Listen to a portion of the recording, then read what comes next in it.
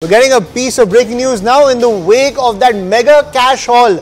That's 351 crore, ladies and gentlemen, by the IT department from Congress MP Dheeraj Sahu. Now, Prime Minister Modi has hit out at the Congress once again. He has tweeted, and I quote, in India, who needs money heist fiction when you have the Congress party whose heists are legendary for 70 years and counting. Strong words coming in from Prime Minister Narendra Modi in the wake of that stunning cash seizure, ladies and gentlemen, from the Congress MP Dheeraj Sahu.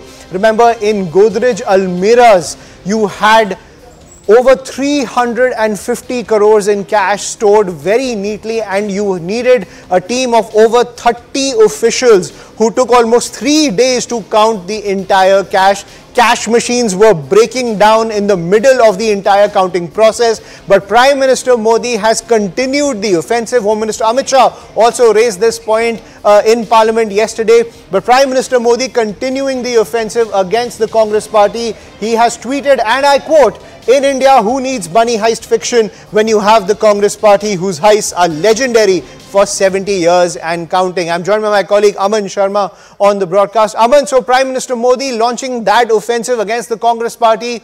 Now, after the victory in the Hindi heartland, the focus is the 2024 Lok Sabha elections. The Modi government had the issue of nationalism, had the issue of Hindutva to target the Congress party. But what was missing was that was that plank of corruption or was a burning issue of corruption to take on the Congress party, something that was the giant killer in 2014. But now it seems Prime Minister Modi has that ammo to take on the grand old party.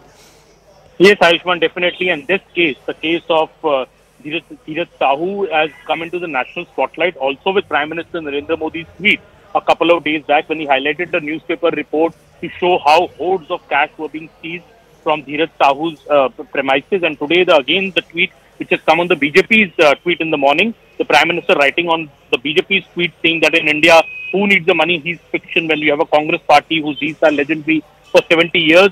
The BJP launching an all-out attack on the issue of Dheeraj Prasad Sahu on the Congress, especially questioning why the Congress party has not taken any action so far for the last four days, despite these big cash seizures. Uh, we have ministers now speaking out saying that any other party would have at least suspended somebody like Sahu. For, uh, some people even saying that Congress should expel him. Uh, BJP MPs are also asking for him to be expelled from the Rajya Sabha, but the Congress has not taken any action so far. The only reaction we have seen so far from the Congress, the national leadership of the Congress saying that they have nothing to do, his businesses have nothing to do with the party, while the Congress party in charge of Jharkhand, Mr. Avinash Pandey, who went to Jharkhand in fact yesterday, said that an explanation has been sought from Mr. Sahu. Now the BJP is questioning why, what sort of explanation is the Congress seeking from Mr. Sahu when there is overwhelming proof in form of these hordes of cash being seized from the residence of Dheeraj Prasad Sahu and the Prime Minister leading the attack now on the Congress party on this issue. I think this issue is going to become a big problem for the Congress in the coming days, we could see some action on this front, at least from the Congress, with the political heat rising against him. The Congress party sources, some of them saying that, you know, nothing has been put on record by the income tax so far, and nothing has been said publicly whom this money belongs to. But politically, it seems it's the issue is now starting to hurt the Congress. With both the Prime Minister, we saw Mr. JP Nadda lead a group of party MPs to Gandhi statue yesterday in the parliament to lead a protest on this issue the BJP putting a lot of pressure here on the Congress party to act against Dheeraj Prasad Sahu. And I spoke to Giriraj Singh, Union Minister, earlier today, and he alleged that is the party not acting against Dheeraj Prasad Sahu because this money was meant for the Congress leadership? Such kind of questions now are also being asked by BJP's ministers. Right. Right. Also, Aman, at the same time, this kind of very uh, keen shift in the Prime Minister's messaging when it comes to issues like this, is this a bit to woo younger voters on the road to 2024 when it comes to targeting the opposition?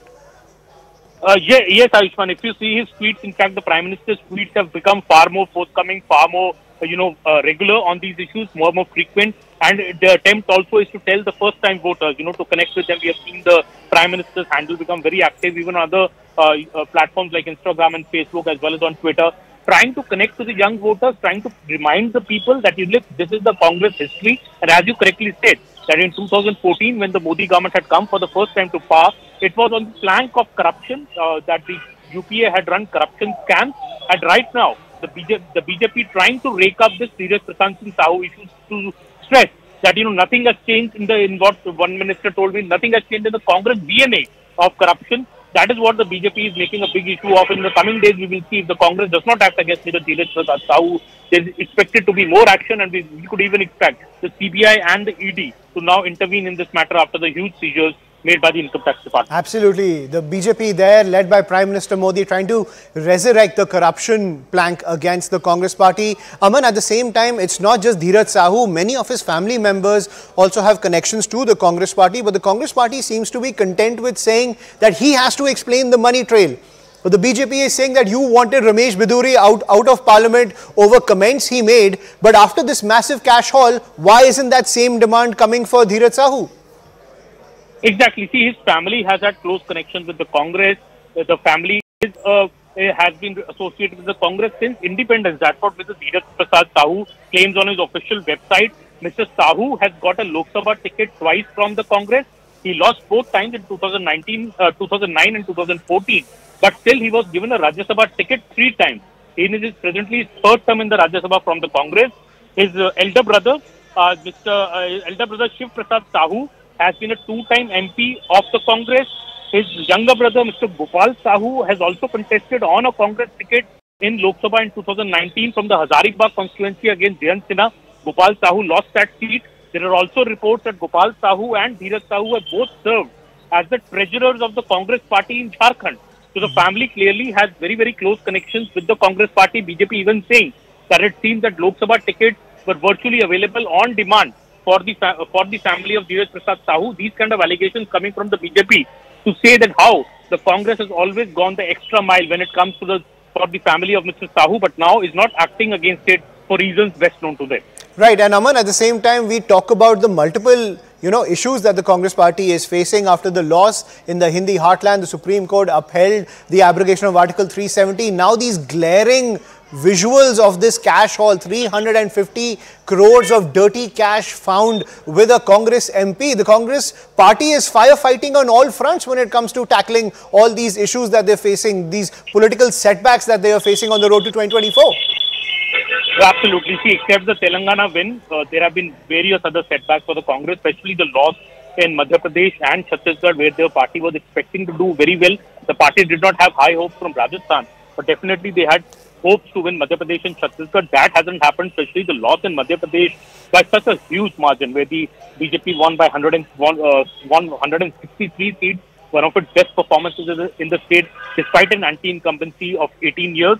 So the Congress has suffered one setback after the other. Even the judgment that came from the Supreme Court yesterday, many Congress leaders are disappointed with that verdict. Uh, uh, so there have been series of setbacks, except, except the state of Telangana, which the Congress won, and Karnataka, which it had won recently earlier this year. But despite and this uh, latest scandal, the corruption uh, allegations which are coming, the huge stashes of cash, the BJP raising it uh, as they should uh, politically at every platform inside parliament, outside parliament, and the Congress pressure on the Congress now to act, act against the Dheeraj Sahu is now rising.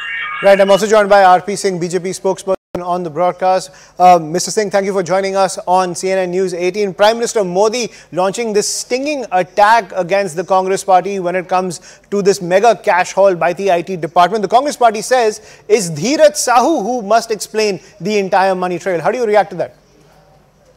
Well, right from Sukh Ram days, where money was found uh, uh, under the bed uh, and in trunks at that time in 1986 to Sahu, the Congress will be the same. I mean, it's uh, of corruption and Mr. Sound whether this money is of the, the Rahul Gandhi, Sonia Gandhi, Priyanka Vadra, or Mr. Robert Vadra, whose money is it?